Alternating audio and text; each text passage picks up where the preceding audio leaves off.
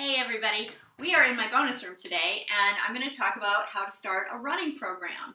This, I don't know why I haven't talked about this before. This is obviously something I care deeply about and, uh, and I'm so excited to share it with you. I know a lot of you are interested in starting a running program um, or building your fitness with through through running. So the specific training run that I'm going to talk about today, I call a ladder.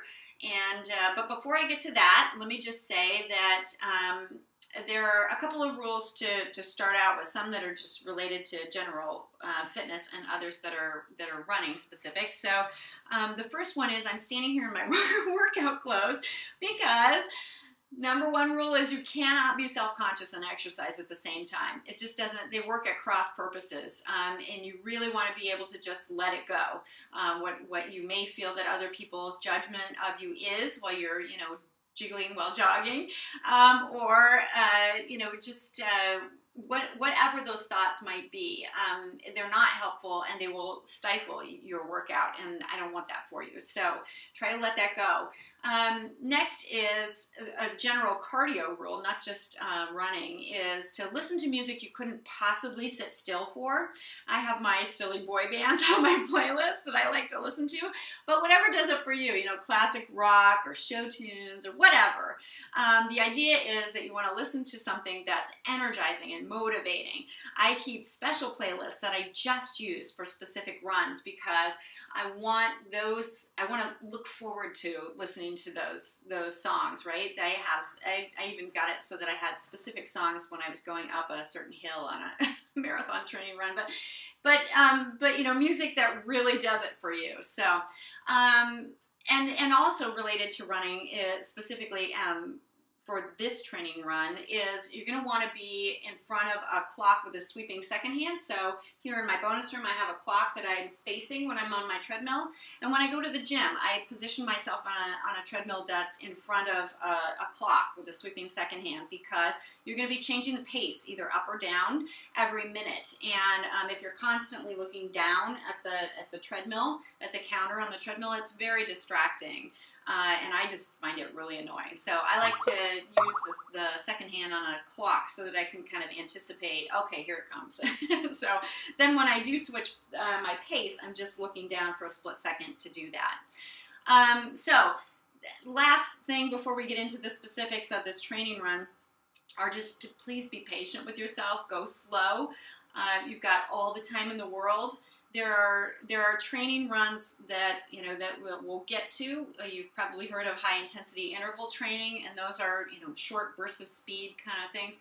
That isn't what we're doing here at all. What we're doing with this run is building conditioning. So the only conditioning that counts for anything with running is running. So you have to be able to build the conditioning. You're not going to be able to do those kinds of sprints and stuff unless you have a baseline of conditioning.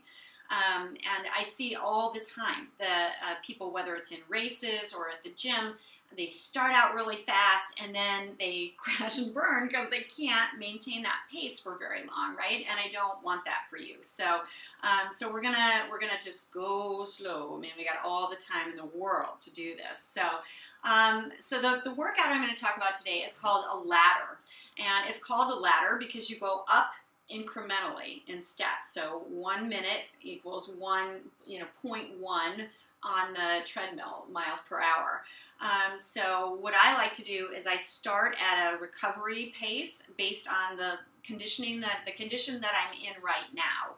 And since I can't run very often um, because of my knee surgery a couple years ago, I can't run much in the terms of distance, but also frequency. Can't do it much anymore. So uh, my recovery pace needs to be a walk.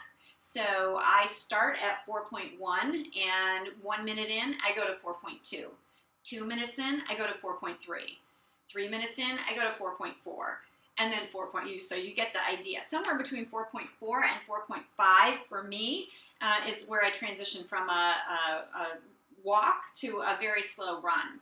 So over the course of 10 minutes, which is one ladder, um, I'll go from 4.1 to 5.0, which is still a pretty slow run.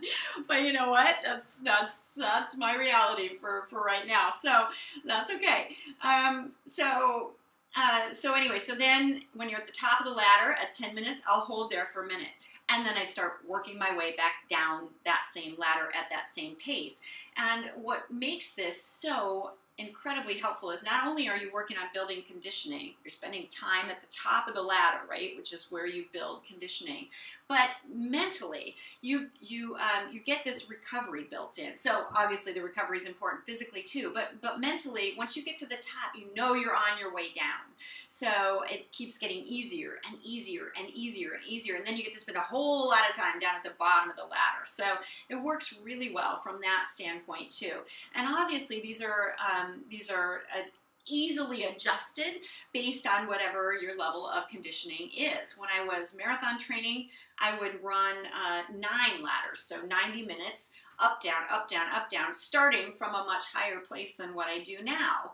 Um, now I run three ladders, you know, typically on weekdays, if I only have time for a 30 minute run, um, I'll run three ladders, so up once, down once, and then up again.